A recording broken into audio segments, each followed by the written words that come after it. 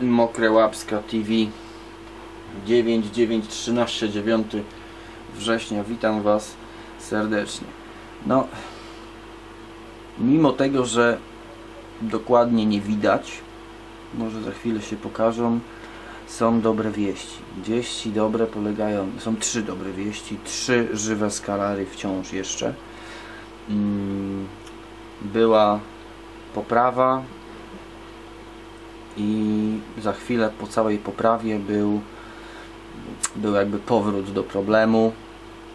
Prawdopodobnie za krótko użyłem leku, ale to po kolei. Więc tak, dobre wieści są takie, że skalary żyją. Złe, mm, czy są zdrowe? No nie zupełnie. Znaczy jeszcze nie są zdrowe. Natomiast to już się ciągnie prawie 3 tygodnie, jak na taką infekcję, o jakiej teraz mówię, to chyba całkiem nieźle sobie poradziłem, ale nie chciałbym tutaj sobie pochlebiać, bo jeszcze, jeszcze nie ma się co cieszyć. Otóż było tak, najpierw pol- poleciał formaldehyd, na, poszedł na warsztat, siedmiodniowa kuracja, która de facto nie pomogła. Yy, moje studiowanie chorób ryb naprowadziło mnie na pewien trop. Otóż yy, puchlina brzucha ryby wskazuje na puchnięcie wątroby. No jeżeli ryba wygląda tak, jakby była konkretnie nakarmiona, a już wiemy, że ona nie je przez dłuższy czas, to prawdopodobnie jest to spuchnięta wątroba i jest to mm, cholernie niebezpieczna sytuacja dla ryby. E, Dalej musiałem zmienić lek. Zmieniłem lek również na producenta Interpet, który dam sobie urwać paznokieć, że jest w Polsce.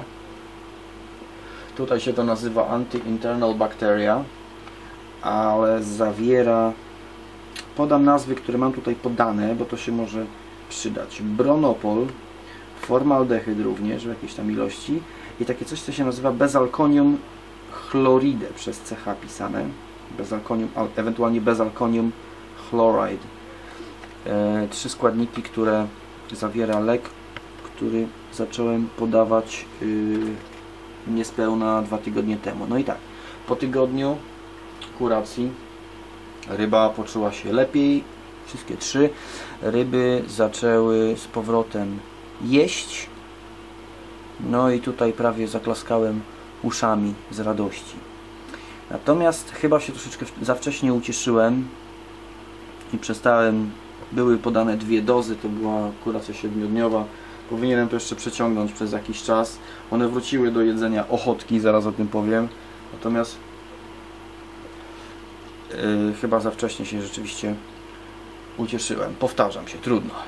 Tak samo jak te skalary już są dla Was nudne, to ja się już teraz będę powtarzał pewnie. No i co?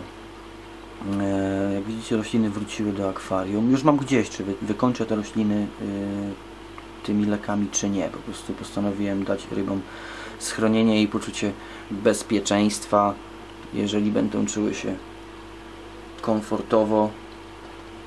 Prawdopodobnie przyniesie to też efekty w leczeniu.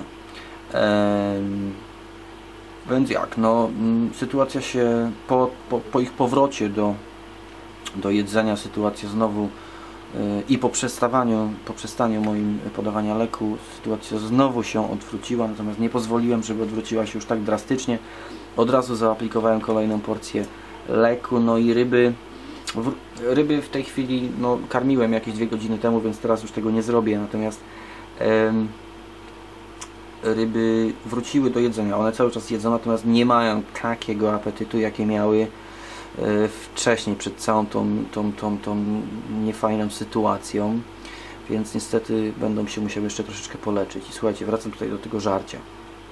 Wszyscy mi mówicie i może macie rację. Znaczy ja uważam, że macie. E, zmień chłopie to jedzenie dla tych ryb, ochotka niedobra.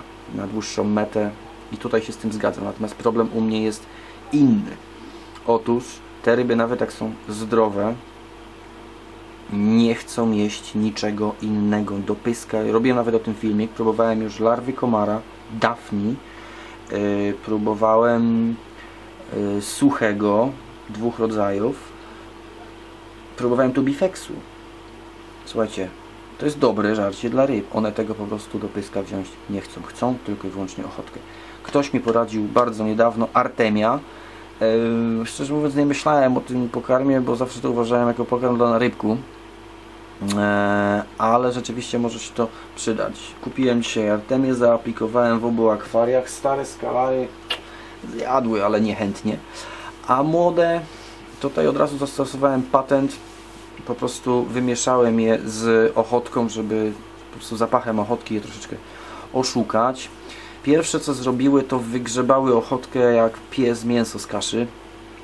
Po czym tej ochotki było dla nich nie dość, więc zaczęły szukać i widzę, że tą Artemię zaczynają niechętnie, tak długimi ząbkami dziubać. No może jest to początek, mm, mam nadzieję, udanej zmiany pokarmu tych ryb i może y, tutaj był pies pogrzebany, natomiast no, przyznacie, że kiedy ryba jest chora i nie chce jeść i jest tylko jeden pokarm, rodzaj pokarmu, który ona ewentualnie jeszcze chce, to koniec końcem ja już wolę ją nakarmić. Natomiast zmiana pokarmu w trakcie leczenia to już jest w ogóle jakieś szaleństwo.